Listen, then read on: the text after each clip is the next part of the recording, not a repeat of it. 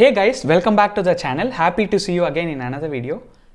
In today's video, I'm going to explain you how to use the lag and lead function in SQL. And on top of that, I'm going to explain you the difference between the partition by clause and the group by clause. Okay. If you've not checked out the previous video on rank, dense rank and row number functions in SQL, do check out the description section. I've linked the video as well. Let's get started here. So we have this data set where I have the year, the ID of the student, the name of the student, the section he belongs to like A section, B section or C section and his max marks, right? And if you notice as I go down, I have the data for 2008 and 2009 as well. And one more thing is, it is actually for the same set of students. So for 2008, I have for Aditya, Ajay, Ajish, Bharat and so on. Similarly for 2009, again, it's for the same people, Aditya, Ajay, Ajish, Bharat and so on, okay? So we are basically comparing their performances in max in the year 2008 and 2009, okay?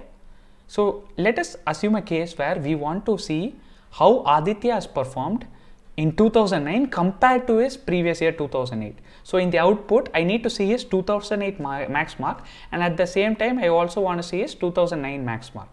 Can we do that in SQL? Yes, definitely. By using the lag function, we can do it. So I would select everything as usual.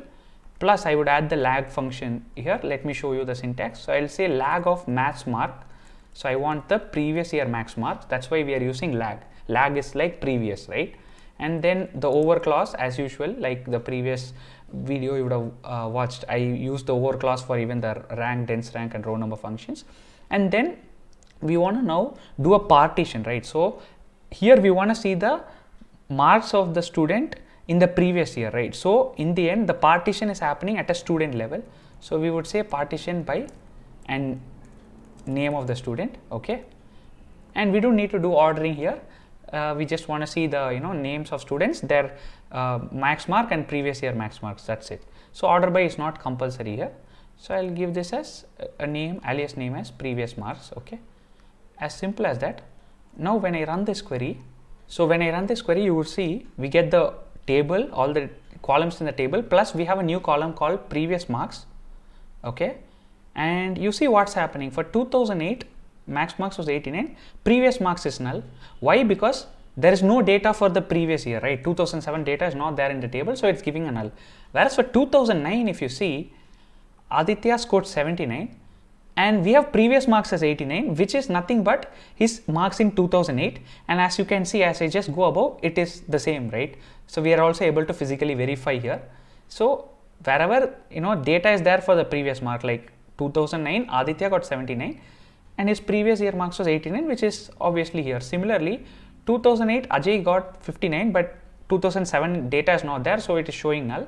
But in 2009 Ajay got 63 and the previous year which is 2008 he got 59 which makes sense right? That's the data we have here right? So to find previous marks this can be really powerful. In future videos i'll also show you how you can use this to perform week on week or year on year comparison analysis for financial metrics. Let's move to the next function which is lead. So lead is kind of like the reverse of lag.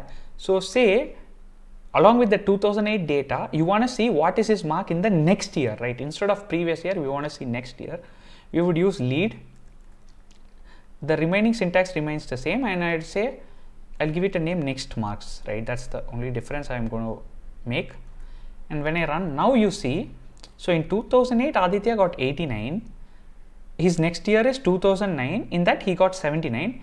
And as you see here, the next marks comes out as 79, right? Similarly, Ajay's 2008 mark is 59. His next year mark is 63, which is what is shown in the data. And uh, 2009, Ajay's mark is 63, but next year it is null because 2010 data is not given here, right? So it's basically pretty simple to see previous year or next year marks and compare. This is a powerful way.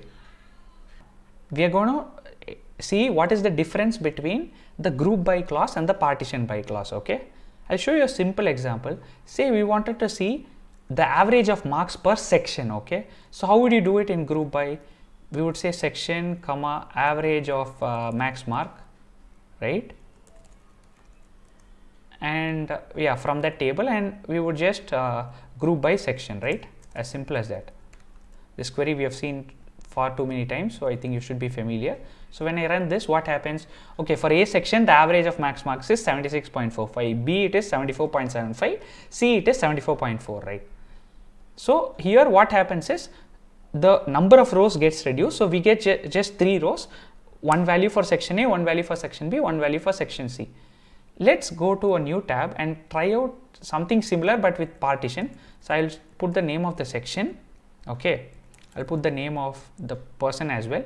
Then I would say average of max marks okay. Same thing okay. But I would say over just watch what I am doing. So over and I say partition by section okay. And I close it. The original table as you see it has 28 rows okay. Now when I run this query let's see what happens. You see we still get 28 rows okay.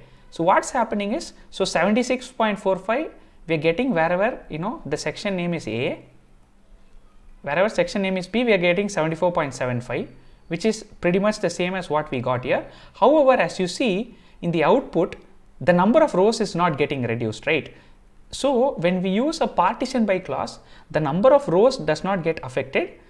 The calculation we are doing, right, the average here, it is determined by what column we are partitioning by. That's about it. But we don't reduce the number of rows. Whereas in group by, by doing a group by, we reduce the number of rows to just three. But here we have, you know, the same 28 rows. But wherever it is section A, it is showing that value of 76.45.